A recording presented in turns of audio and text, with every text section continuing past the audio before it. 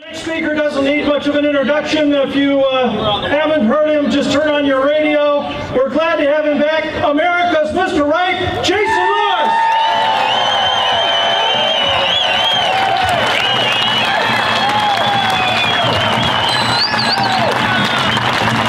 Thank you, thank you very much. It is great to be in front of thousands of proud Minnesota taxpayers.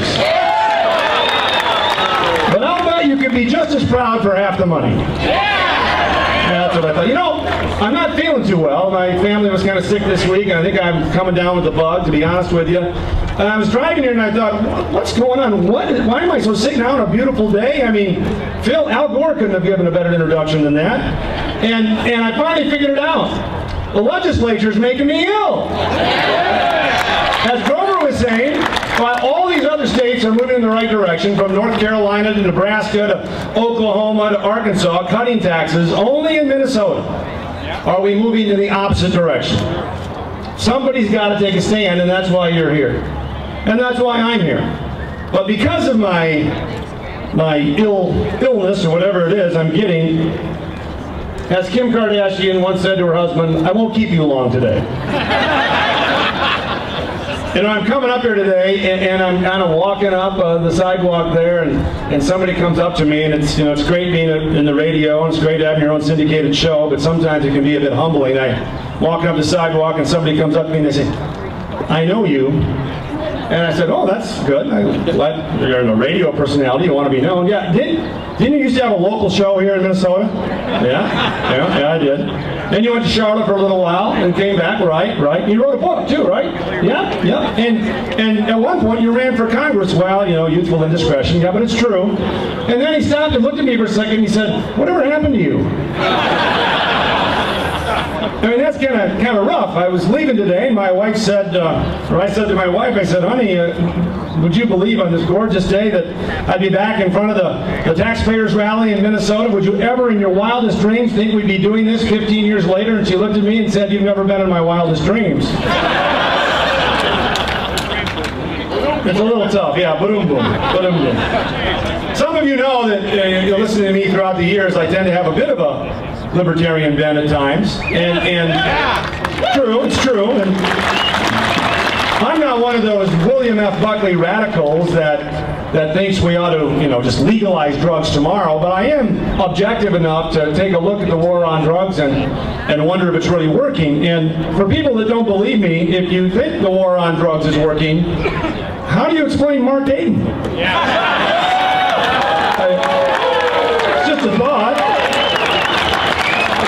How do you explain the fact that here in Minnesota we're at not raising the ta- top tax rate to 8% or 8.5, we're looking at 9, 9.5%, 10%. How did we get here? I mean, you people didn't vote for this. I didn't vote for this. Kind of reminds me of the guy in Chicago who's trying to explain why Illinois voters keep electing the people they do. Said, "Well, I'm a lifelong Republican, but ever since I died, I've been voting Democrat." Wondering if Mark Ritchie isn't registering a whole lot of dead people and getting a lot of other people in office who shouldn't be, maybe, huh? Yeah. We, um, as Grover was saying, we, we don't have a revenue crisis. You realize in the last decade, general revenue funds in the state of Minnesota have gone up 31%. From the budget biennium 2010-11 to 12-13, the budget went up 14%. Now we're going from 13, 4, 12, 13 to 14, 15, and they want to raise it another 10%. And yet, I seem to recall a few tax increases years gone by. We had the Vote Yes Amendment, remember that? Going to dedicate the excise tax to roads. Whoops. The Vote Yes Amendment dedicated 40% or more to light rail. So we didn't get the roads. We had in 2008 the 6.6 billion dollar license, gas and sales tax. We had the same year the Legacy Amendment, the $11 billion slush fund for cultural movements and the arts. Minnesota government at all levels right now collects $28 billion a year from all of you. Now think about this. That's $5,000, actually over $5,000 per person in the state of Minnesota that you pay. And we're undertaxed. Now, the left will say, hey, we're number one. And they've got a point. In 2011, the Census Bureau came out with the top 10 states, or the 10 states, who spend more than 30% of their budget on public welfare. Now, do I really have to tell you where we landed? Not fifth, not third. By God, we're number one. Illinois and California, look out, we're coming after you next. The Census Bureau report, we are the number one state in the United States. 37.5% of our expenditures on public welfare. Now, friends, you do not, you do not help the poor by perpetually subsidizing them. You help the poor by making them independent. That's right. The welfare state does not do that, and it is time we end the welfare state in Minnesota once and for all.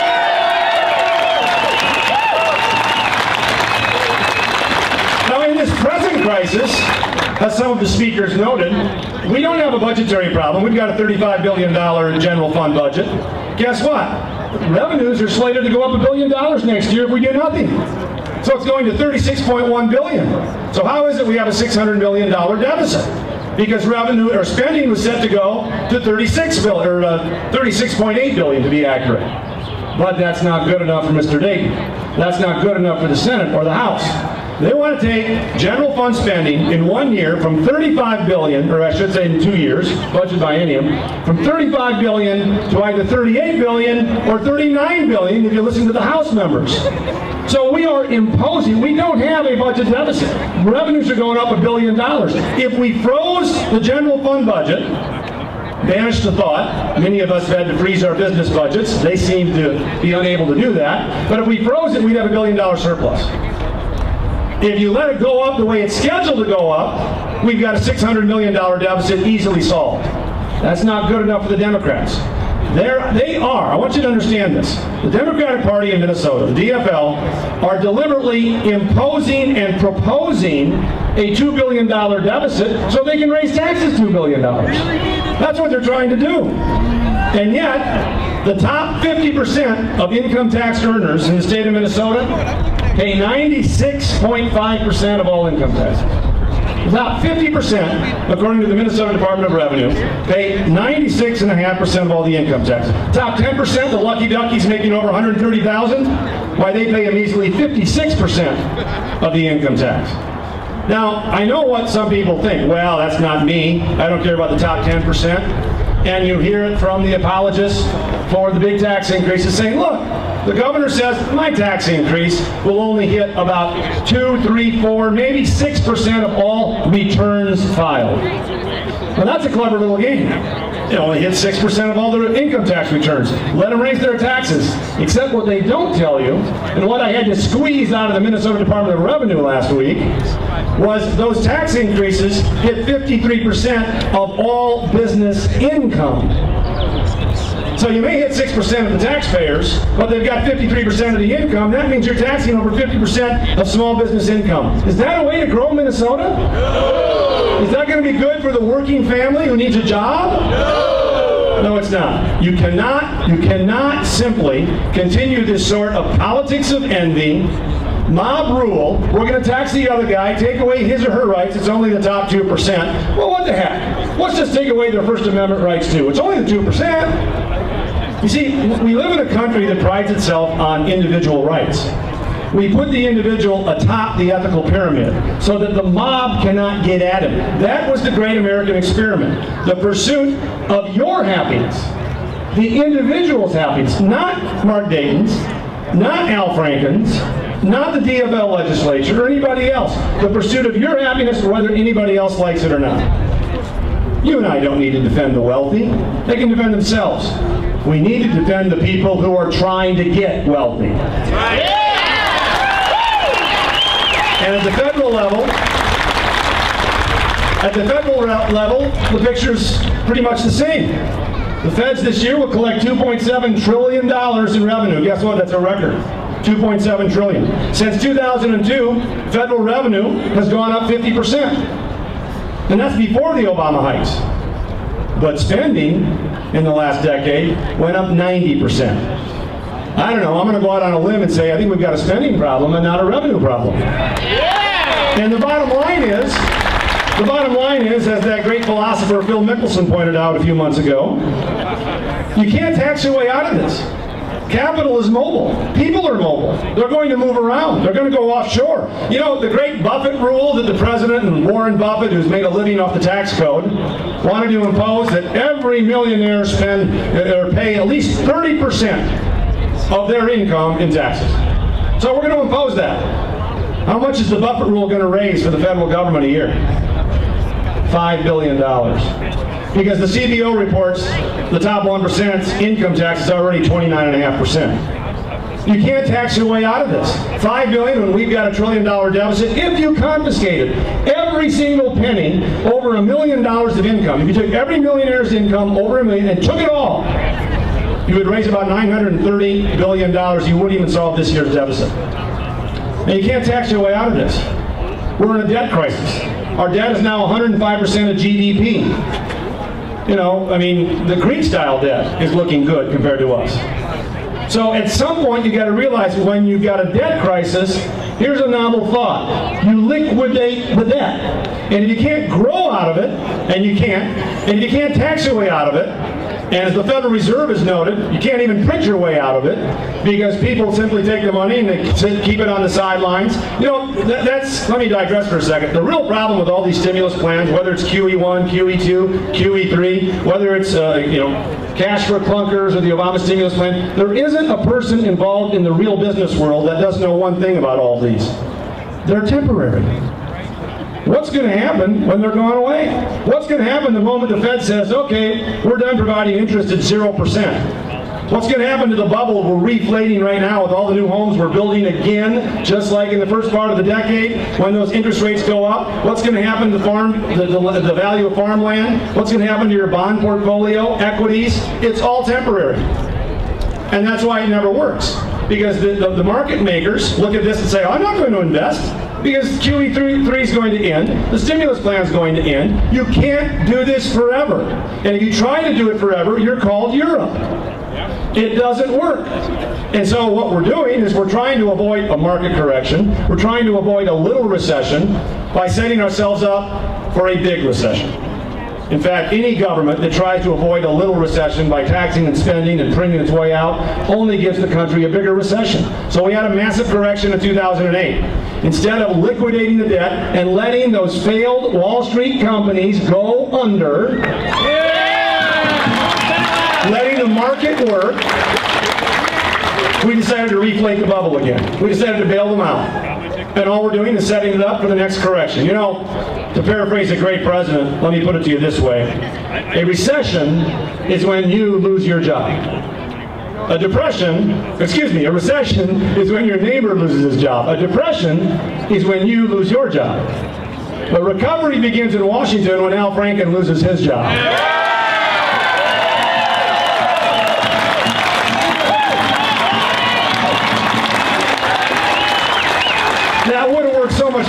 I gotten it out right. But look, the bottom line is this. We all know what the problem is. We all know what has to be done. We've done it in our own lives. We've done it in our businesses. The only people that won't do it are the people running government. And if you think these people are going to negotiate in good faith, I've got news for you. The party of government has perfected the idea of being compassionate with other people's money. Taking money from Bob and giving it to Sue, taking money from Mary and giving it to Jim. And they're buying votes this way. Why would the party of government, DFLers, Democrats in Washington, ever, and, a few, and by the way, and a few liberal Republicans, why would they ever give up the very modus operandi that they use for electoral advantage? So negotiating with these people is a fool's errand. You know, the sequester is living proof. We were forced, or we finally found some backbone, to stick with it. And the president capitulating on the FAA yesterday, uh, the Republicans standing firm, and we're getting the, the, that whopping 1% budget reduction this year. Uh, but we won the debate. People aren't saying, well, it really is the sequester. They're saying, you know, Mr. President, you might want to cut the $500 million the FAA spends on consulting instead of cutting air traffic controllers. And we won the debate. That's what happens when you stand on principle. You tend to win the debate. It tends to focus the mind. So we don't need a tax increase. We don't need a tax increase here. We don't need it in Washington. We need to tell people that everybody has some skin in this game. You want to talk about shared sacrifice? Here's my idea of shared sacrifice. Everybody who's getting a government check will get one that's a tiny bit smaller until we're out of this mess. That's shared sacrifice. And by the way,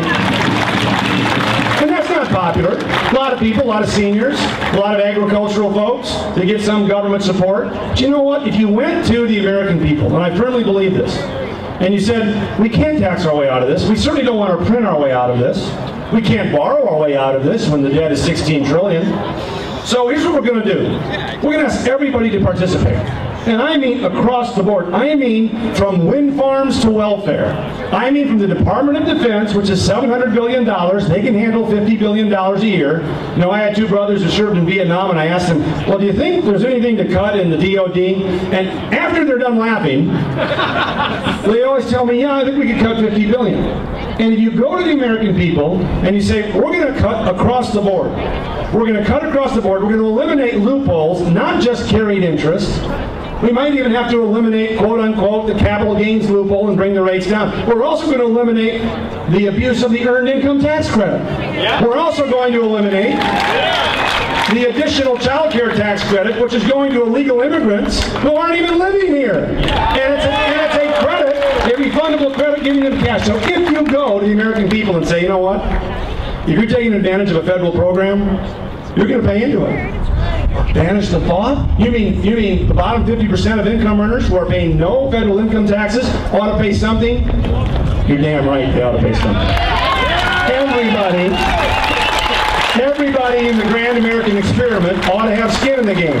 And the beauty of that, and by the way, that's a pretty good working definition of a consumption tax, the beauty of that, as Alexander Hamilton said, it provides a firewall. Now, if everybody had to pay something, if we truly had tax reform, we eliminated the loopholes, and we adopted a low flat rate, let's say 16, 17%, no carried interest loophole. Heck, I wouldn't even mind taxing capital gains at that rate. So you would eliminate the Buffett rule.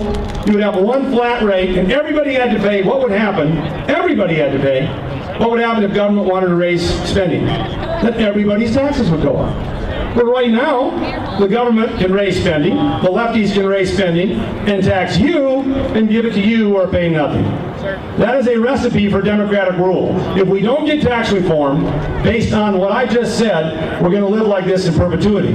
And that's why it's crucial right now in Washington that the Republicans do not cave in on closing loopholes before they get a flat rate tax that's low, low, low.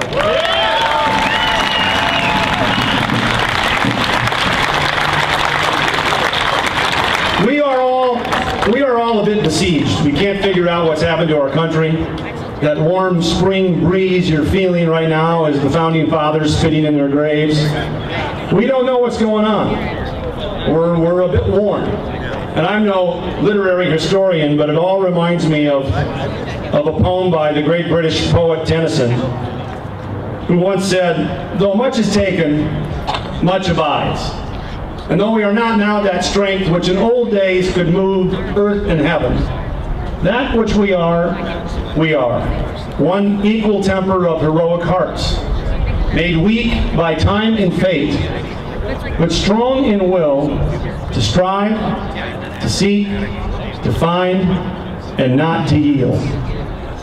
Ladies and gentlemen, on this day, at this time, we need to pledge to ourselves and our posterity and to the United States and the state of Minnesota that we will never, ever, ever yield. Thank you all very much for coming. Thank you.